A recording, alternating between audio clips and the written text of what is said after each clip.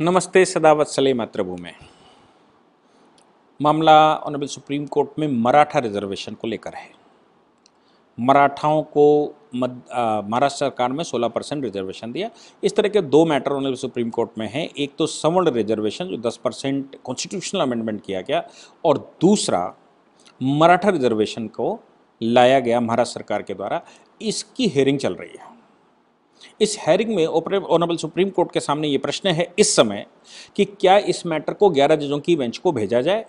11 जजों की बेंच को इसलिए भेजने की बात चल रही है, उसका आर्गूमेंट ऑनरेबल सुप्रीम कोर्ट ने कल सुना, और इसलिए ये बात चल रही है क्योंकि पुराना जो जजमेंट है, Indira Sawhney versus union of India का, जिसको हम मॉडल कमीशन केस कहते हैं, या रिजर्वेशन केस कहते हैं, वो नौ जजों की बेंच का है, और नौ जजों की बेंच ने एक बेंच मार्क लगाया था कि 50 परसेंट से ऊपर भारत में रिजर्वेशन नहीं हो सकता on the basis of article 338 constitution का आर्टिकल 338 ये कहता है कि रिजर्वेशन में not exceed against the efficiency of the country हमारे देश में जो इफिशियंसी है, भारत की क्षमताएँ हैं क्षमताओं को जहाँ तक इफ़िशियंसी को, उनकी कार्य क्षमताओं को जहाँ तक नुकसान ना हो, वहाँ तक ही देश में कोई रिजर्वेशन किया जा सकता है। और जब कोई भी रिजर्वेशन देश की क्षमताओं को नुकसान करता हो तो वो लिमिट क्रॉस नहीं की जा सकती। आर्टिकल 338 के बेस पर ऑनरेबल सुप्रीम कोर्ट ने इंदिरा साहनी के जजमेंट में 50 परसेंट की लिमिट लगा दी कि भारत में रिजर्वेशन 50 परसेंट से ऊपर नहीं होना चाहिए। हालाँकि ये हमें ध्यान रखना चाहिए कि रिजर्वेशन चंपाकम दुराई राजन का जो जजमेंट आया था, उस चंपाकम दुराई राजन के जजमेंट में तमिलनाडु में रिजर्वेशन को अनकॉन्स्टिट्यूशनल डिक्लेयर किया गया था, जिसके बाद फ़र्स्ट अमेंडमेंट नेहरू जी लेकर आए थे और उन्होंने आर्टिकल 15 फोर आर्टिकल 16 फोर जोड़ा गया था। ओरिजिनल कॉन्स्टिट्यूशन में आर्टिकल 15 फोर और आर्टिकल 16 फोर नहीं था। भारत में पहला संविधान संशोधन नेहरू जी जो लाए थे, वो आर्टिकल 15 फोर 16 फोर लेकर आए थे। इसको फ़र्स्ट अमेंडमेंट कहते हैं कॉन्स्टिट्यूशन का। और इस अमेंडमेंट के माध्यम से रिजर्वेशन को इंट्रोड्यूस करवाया गया था चंपाकम दुराई राजन के जजमेंट को ओवर रूल करने के लिए। बाद में रिजर्वेशन की बहुत सारी कहानियाँ चली। लेकिन तमिलनाडु में 68 परसेंट रिजर्वेशन रहा। और तमिलनाडु के 68 परसेंट रिजर्वेशन का कारण उसको नौवीं अनुसूची में डाल देना था।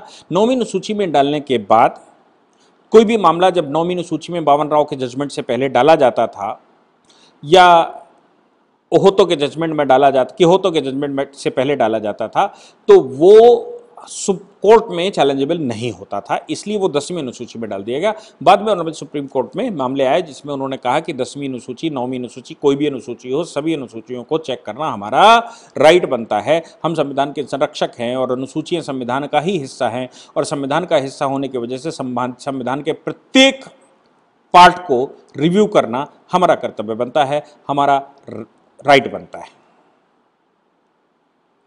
रिजर्वेशन की पॉलिसी अब यहाँ पर फंसी है इस विषय पर कि 50 परसेंट की लिमिट क्रॉस की जा सकती है। क्या 10 परसेंट रिजर्वेशन देकर या 16 परसेंट रिजर्वेशन देकर महाराष्ट्र में?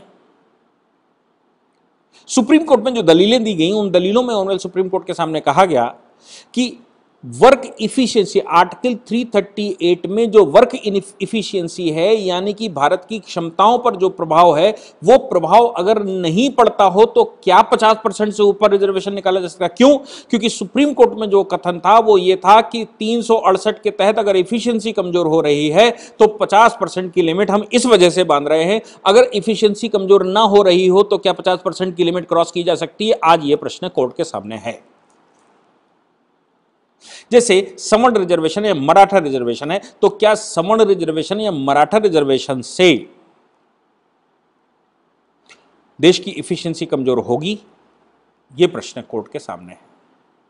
कोर्ट के सामने जब यह बात गई मराठा रिजर्वेशन को लेकर तो कोर्ट को एक पॉजिटिव व्यू मुझे लगता है कि यह समझ आया या इस पर आर्गुमेंट जो चल रहे थे, कोर्ट को पॉजिटिव व्यू ये है कि क्या इसको रिव्यू किया जाना चाहिए? क्या नौ जजों की बेंच को दोबारा आर्टिकल 338 के बेस पर रिव्यू किया जाना चाहिए आज की परिस्थितियों के अनुसार?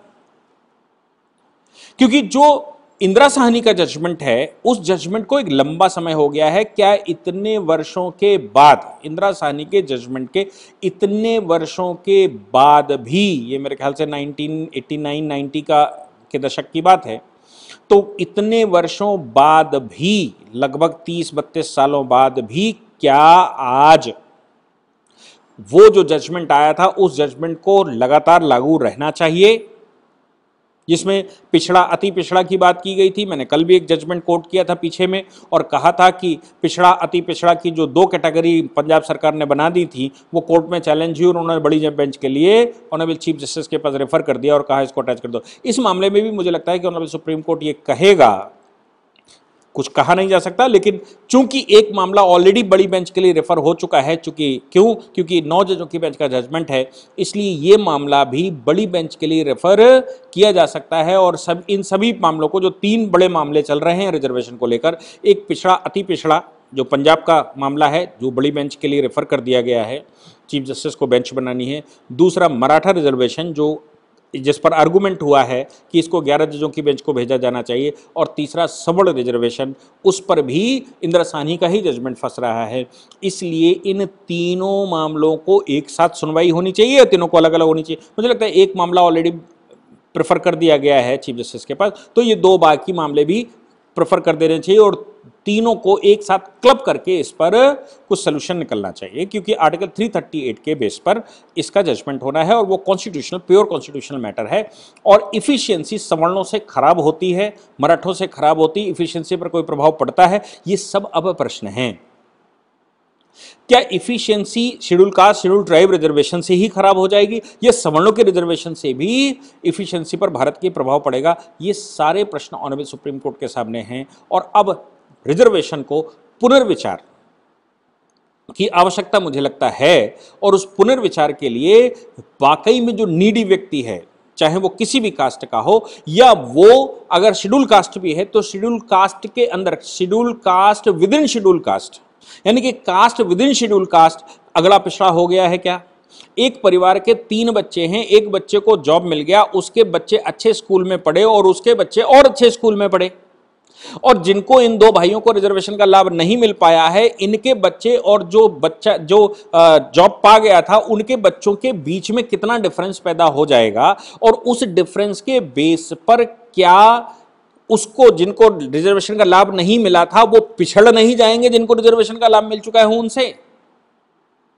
एक ही परिवार के दो भाइयों के दो बच्चों में फ़र्क आ जाएगा और अब जो भाई रिजर्वेशन का लाभ ले चुका है और उसके बच्चे पढ़ चुके हैं, अच्छे स्कूलों में पढ़ चुके हैं, अच्छी सोसाइटी में पढ़ चुके हैं, अच्छी सोसाइटी में रह रहे हैं, वो अपग्रेड हो चुके हैं, उनसे क्या उनके दूसरे भाई का बच्चा जो गाँव देहात में पढ़ा जिसके पास संसाधन नहीं थे कंपटीशन कर सकता है, लेकिन वो जो देहात जो जो जॉब पा गया था, उसका बच्चा रिजर्वेशन का भी लाभ लेगा, और उसके पिता रिजर्वेशन का लाभ ले चुके हैं, और उसकी पढ़ाई भी अच्छी हो चुकी है, उसका कॉम्पिटिशन इस बाकई में दूसरे भाई के नीडी बच्चों से कैसे हो सकता है? तो क्या उनको एग्ज़ाम किया जाना चाहिए, और इसके बच्चों को लाभ देने के लिए अग्रसर होना चाहिए। ये सुप्रीम कोर्ट के सामने प्रश्न है और ये आज की तारीख में बड़ी बेंच के लिए रेफर कर दिया गया है। और चीफ जस्टिस जैसा उचित समझेंगे, वैसी बेंच उस पर बनाएँगे। हालाँकि इन तीनों जजमेंटों से ये तय होगा कि आगे की रिजर्वेशन पॉलिसी भारत की कैसे चलने वाली है। जैसा सूचना आएगी, जैसा ऑनरेबल सुप्रीम कोर्ट कहेगा, उसके अनुसार हम लोग आगे उस पर कार्रवाई करेंगे, उस पर चर्चाएँ करेंगे। Thank you